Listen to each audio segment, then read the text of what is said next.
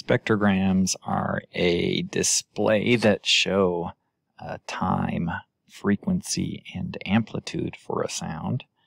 We can work with those dimensions in how the spectrogram is displayed uh, to get the best possible picture of our speech. The display of amplitude in a spectrogram is called the dynamic range. Um, if you're going to use a, a, scale from uh, white to black with gray in between, you have to decide the quietest sound you're going to show. Anything that's quieter than that is going to be completely white. Similarly, you have to decide what is the loudest sound you're going to show, and anything that's louder than that loudest uh, sound is going to show up as completely black. So spectrograms can vary in their dynamic range, the distance from that uh, lowest displayed amplitude to that highest displayed amplitude. I show these over a grayscale in my spectrograms. Some people use a color scale um, from uh, blues on the low end to reds on the high end.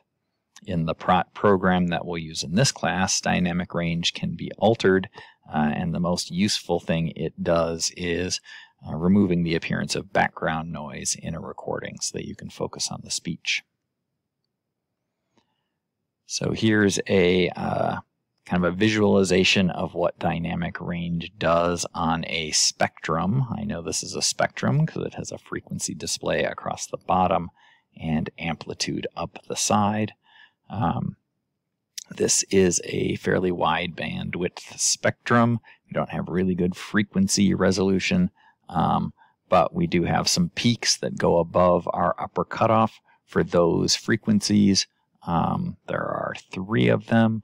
We would show uh, completely dark black um, for those uh, frequencies at their amplitude. Uh, on the low end, we have uh, five regions that go below that red line. Those would show as completely white, even though in any of those particular regions there is some variation in what the amplitude is. Um, we have to uh, choose a place to uh, cut it off.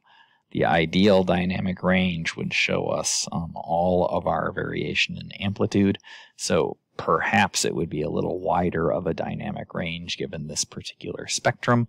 Um, on the other hand, um, it's a little bit of a, uh, a little bit of an art to find a visual display that you think looks good.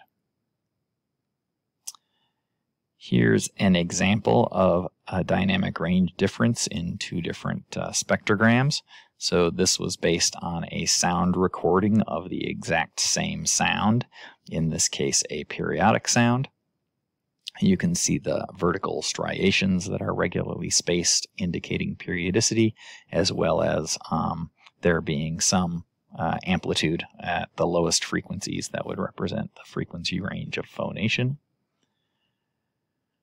The spectrogram on the left appears to have sort of a lot more uh, amplitude in it in general, um, whereas the one on the right has some lighter white regions.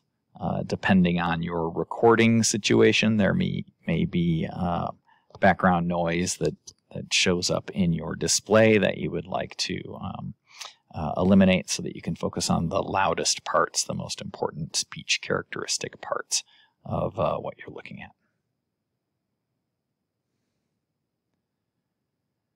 Okay, so uh, if we uh, have that situation where we're making a recording but we don't have great recording conditions and I want to modify my spectrogram parameters to try and eliminate how much background noise there is, uh, I have the low end of the dynamic range and the high end of the dynamic range, and I can either uh, move either one of those ends up or down uh, assuming the background noise is, uh, you know, quieter than the speech I'm recording. And if it's not, uh, I'm going to have trouble getting a good, clear picture. Uh, but assuming it is quieter than the speech I'm recording, if I were to raise the lower end of the dynamic range, I would cut out that low amplitude sound from my visualization of the speech. So it's not modifying the speech at all to mess with the spectrogram parameters. It's just modifying the display. Kind of like putting a filter on your uh, uh, pictures. We can also modify the bandwidth of a spectrogram. Uh, a spectrogram is made of a whole bunch of analysis windows. Uh, each one, there's a spectrum you compute, or the computer computes for you. Um, the duration of that analysis window controls the balance between frequency sensitivity and time sensitivity for your spectrogram most of the time what we look at are wide band spectrograms that have a pretty short analysis window that get you good time resolution, um, which means you have relatively poor frequency resolution or it's kind of blurry. Um, the alternative is called a narrowband spectrogram where you use a longer analysis window and that gets you good frequency resolution. But to do that, to look at speech over a longer analysis window means that if it changes over the course of that window, you're not going to be able to see the change. Instead, you're going to kind of get a smear of all the frequencies involved in the change. So you don't get very good time resolution in that case. Here's an example uh, of two uh, spectra created from the same sample of speech.